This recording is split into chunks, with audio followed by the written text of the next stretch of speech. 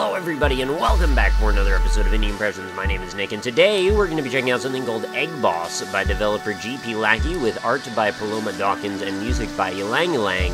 Uh, this is a very simple, very uncomplicated premise. Essentially, it is a psychedelic neon-fueled matching game and the presentation and art aesthetic alone were actually enough to make me really like this one and made me want to actually show it off in a video.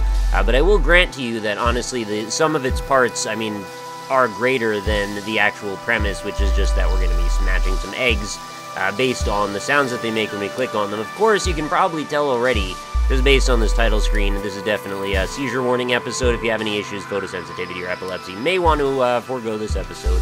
Uh, you know, anybody that doesn't, though, feel free to uh, click on through and try this experience out. It's pretty wild, and a lot of flashing lights and crazy colors.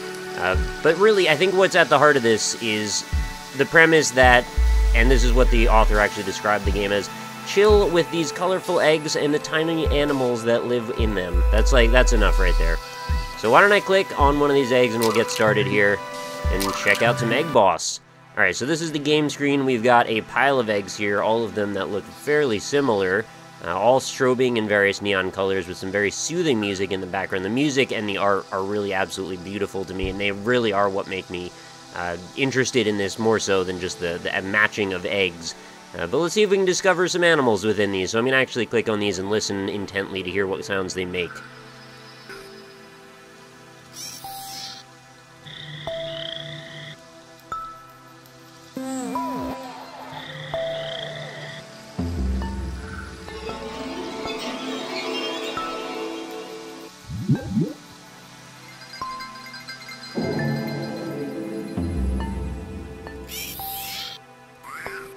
Okay, so I think we've had a couple of repeats in there. This one and... Wait. Yeah, there we go. I must have had one already clicked when I clicked on the second one. So you just basically have to find ones that have matching sounds and then pair them up. And, you know, that's really the whole premise. Let's see if there's another... Oh, I think I heard a bloopy before. Yep, right there. Hooray for matching abilities.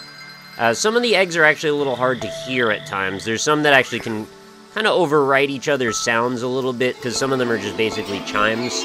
So it can be a bit easy to confuse the uh, background music with the foreground music, or the foreground sound effects, rather. So like this one, for example. Just a very subtle little chime, not much else there. Pretty sure I've heard that one somewhere in this pile over here, though. Yeah, it's this one right here, right? Was it not? Oh. I had it slightly off. Yeah, my memory is very strange when it comes to these things. Sometimes I get it exactly on, sometimes I remember it with like a one egg proximity around the area. So a little silly. Uh, so that one's a little like Squirtle sound. Should remember that one if I hear it again. Obviously, the more you do this, uh, the faster you'll get at it.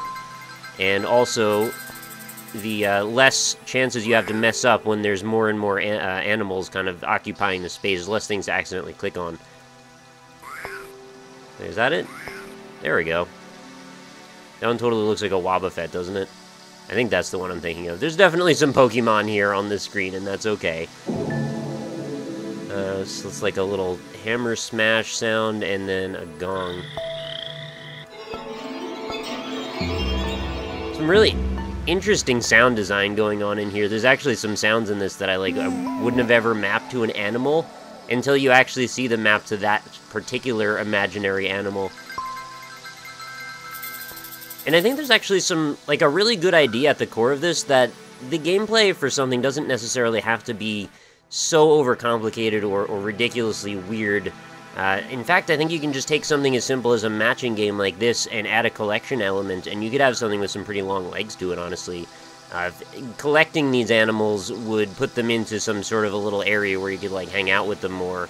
Uh, I think that would definitely be a really fun thing to do, and, you know, each time you play this, maybe you get a different batch of animals with different sounds. Uh, maybe there could even be some DLC or something, adding more and more later, but, you know, I shouldn't probably give anybody ideas with that.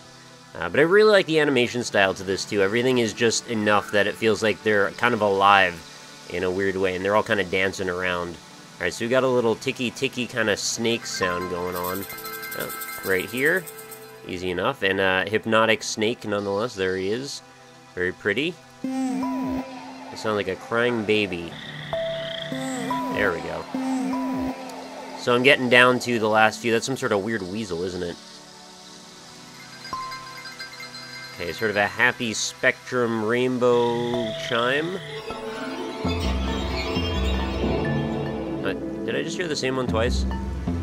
Yeah, right next to each other. Oh, it's a turtle. It's a turtle.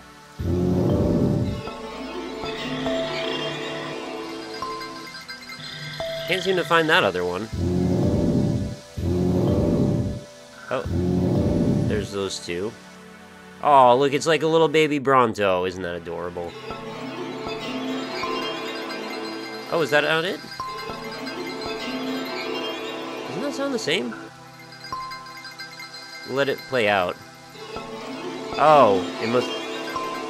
Okay, I think I just misclicked and also misheard it. Oh, look at that crazy, beautiful beetle butterfly thing. That's weird. I like it, though. Okay, the gong. Now I'm going to start getting them by accident just because there's so few options left. Yeah, those two are right next to each other. That's basically a Furby, uh, combined with those little things that you squeeze and their eyes pop out, I guess. Okay, nighttime cricket sounds.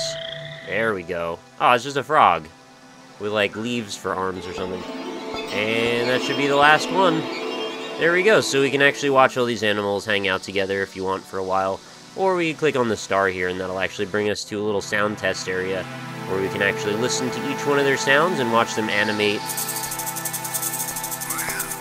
I could also see there being sort of like a little Mario Paint inspired sort of unlock area where uh, you can use the sounds that these animals make and put them on a timeline and actually make some like very rudimentary music with them. I think that could be kind of fun as well. But just in general, this is uh, one of those games that really I just enjoy the idea of. The presentation was super soothing and just really relaxing, uh, and just you know a lot of fun. There is nothing too crazy or weird uh, as far as gameplay conventions here. This is about as less or the least complex that you could get as far as gameplay conventions, but I think it's really presented well. And sometimes I think that by itself is worthy of a little bit of uh, accolades. Look at that, it's like a little coiled up Squirgle, and then you click on it and turns into a Bronto. Who would have thought?